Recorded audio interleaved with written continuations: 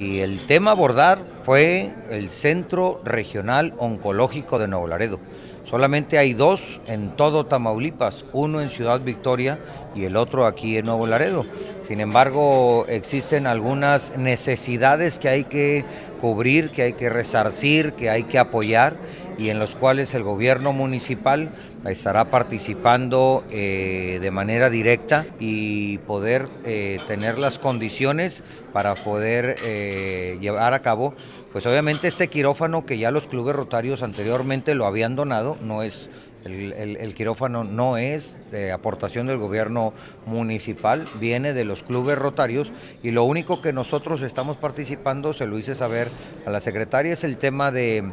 del acondicionamiento que requiere según la norma eh, que regula el tema de la salud para poder instalar este eh, quirófano importante en este centro oncológico aquí en Nuevo Laredo.